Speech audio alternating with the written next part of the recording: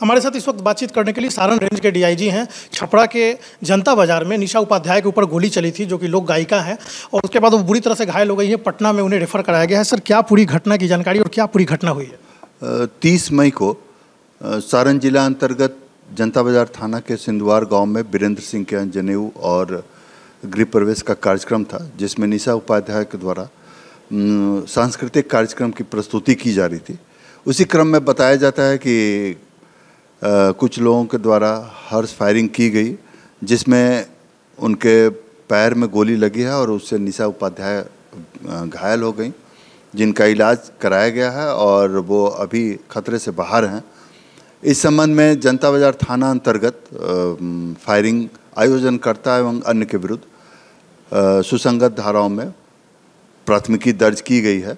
Police के द्वारा लगातार छापामारी की जा रही है और अ, अभियुक्तों की गिरफ्तारी और शस्त्र की बरामदगी का प्रयास किया जा रहा है। शीघ्र ही गिरफ़्तार कर लिया जाएगा। सर पुलिस को इस पूरी घटना की क्या जानकारी मिली और पुलिस ने कैसे कार्रवाई करना इस पर शुरू किया? पुलिस को बाद में सूचना मिली थी और उसके बाद से पुलिस के द्वारा तत्क्षण सच- सूचना मिलने के तत्काल बाद पूरी घटना की जानकारी ली गई। जाँच की गई और सुसंगत धाराओं में प्राथमिकी भी दर्ज की गई है और लगातार छापामारी की जा रही है। कब की सर ये घटना बताई जाती है? ये तीस मई की घटना बताई जा रही है तीस मई की रात्रि की घटना बताई जा रही है। ये मतलब वीडियो वायरल होने के बाद पुलिस को सूचना मिली? अब ये तो पूरी जानकारी में नहीं है लेकिन पुलिस को जानकारी मिलने के बाद पुलिस ने तत्काल जाँच कर इसमें कार्रवाई प्रारंभ कर दी है। और अनुसंधान प्रारंभ कर दिया। फ़िलहाल आगे अभी पुलिस इस पूरे मामले में क्या किस रूप से देख रही है और क्या कार्रवाई कर रही है अभी?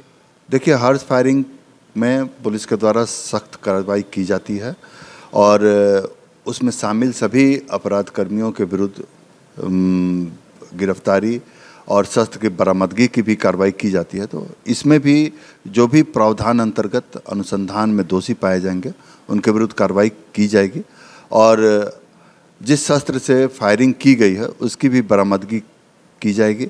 यदि लाइसेंसी होगा तो उनका लाइसेंस भी रद्द तत्काल कराया जाएगा। और गैर लाइसेंसी होने पर तो सुसंगत धाराओं में प्रावधान के अंतर्गत प्राथमिकी दर्ज की जाएगी। कट्टा से फायरिंग होने की बात सामने की कट्टा से फायरिंग होने से वो